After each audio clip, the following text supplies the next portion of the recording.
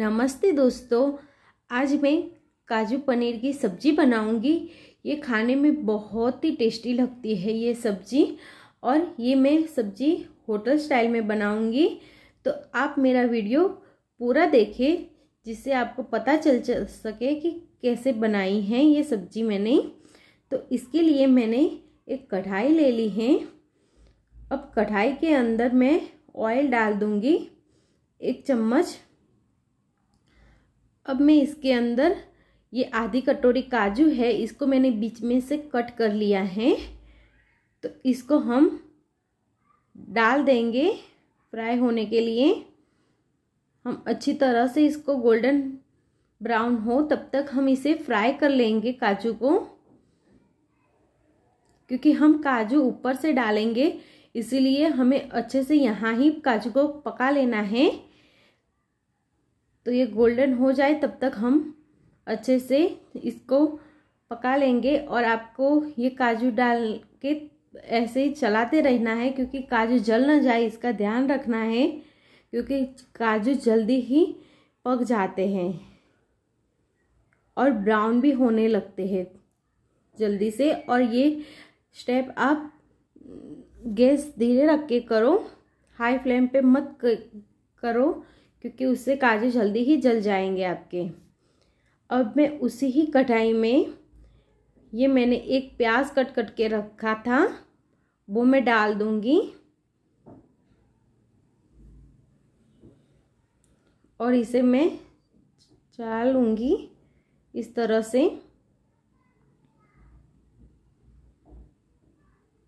अब मैं इसके अंदर टमाटर डाल दूँगी।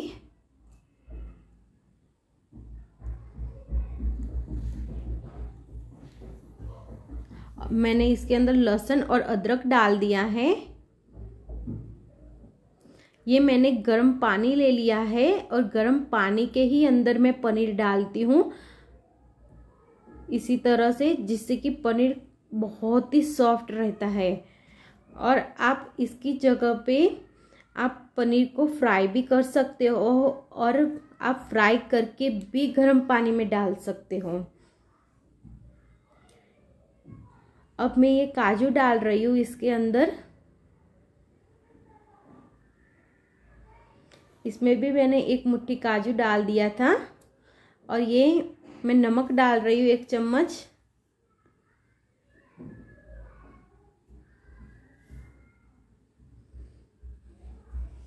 और इसे चला लेंगे हम।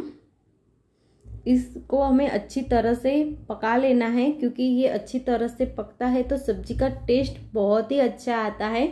तो अब यहाँ पे अच्छी तरह से टमाटर और प्याज को पका लो, जिससे कि आपकी सब्ज़ी बहुत ही अच्छी बन के आएगी।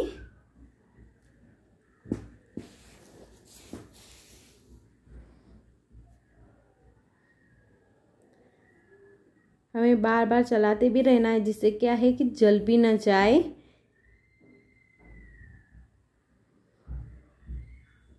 इस तरह से। और ये हमारी बनके तैयार है, अब हम इसकी ग्रेवी बना लेंगे। ये मैंने मिक्सी में ग्रेवी बना ली है इसकी, आप देख सकते हो। अब हम वही मैंने कढ़ाई ली है, इसमें फ्लेवर रहता है, इसीलिए मैं वही सेम वाली ही कढ़ाई लेती हूँ। इसके अंदर मैंने एक चम्मच ऑयल डाला है और एक चम्मच मैं घी डाल दूँगी।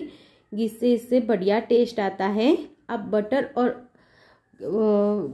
ऑयल में भी बना सकते हो और घी भी डाल सकते हो। यहाँ पे ही हम लाल मिर्ची पाउडर डाल देंगे और इस तरह से मिक्स कर देंगे और मिर्ची हमारी जले नहीं, इस बात का ध्यान रखें और तुरंत ही हम ग्रेवी डाल देंगे। इसमें मिर्ची डालने से क्या होता है ऑयल में ये सब्ज़ी का कलर बहुत ही अच्छा आता है, इसीलिए और टेस्ट भी अच्छा लगता है, इसीलिए उसमें आप मिर्ची डालोगे तो बहुत ही अच्छी लगती है।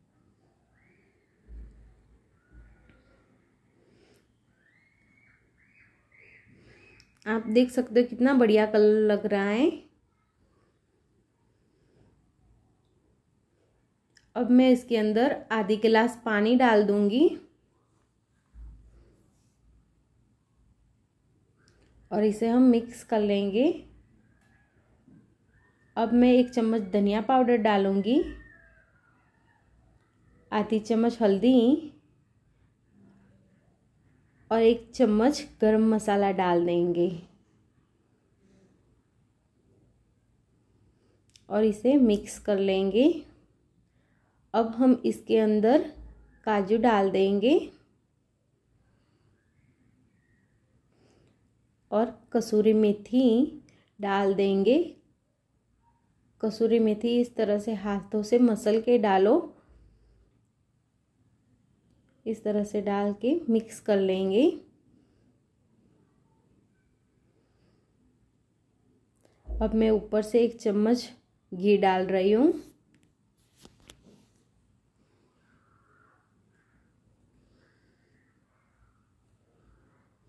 अच्छी तरह से मिक्स कर लेंगे।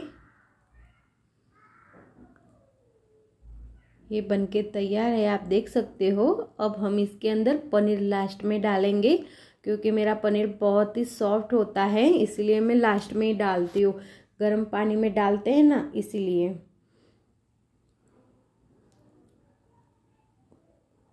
और अब हम थोड़ा धीरे धीरे करके इस तरह से चला लेंगे। ज़्यादा नहीं इस तरह से करना है, क्योंकि क्या होगा, पनीर टूट जाएगा। सब्ज़ी बन के तैयार है। अब मैं ऊपर से धनिया डाल दूँगी। और ऑयल भी निकलने लगा है, आप देख सकते हो। अब हम सब्ज़ी को सर्व कर लेंगे। सब्ज़ी मैंने सर्व कर लिया है। ये रोटी के साथ, पराठे के साथ, नान के साथ और पूरी के साथ बहुत ही अच्छी लगती है और जीरा राइस चावल के साथ भी बढ़िया लगती है। और इसका टेस्ट बहुत ही अच्छा आता है, आप ज़रूर एक बार बनाएँ। और आपको मेरा वीडियो पसंद आए तो आप मेरे वीडियो को लाइक करें, शेयर करें एंड सब्सक्राइब कर दें। आप मेरे वीडियो को ज़रूर सब्सक्राइब करें।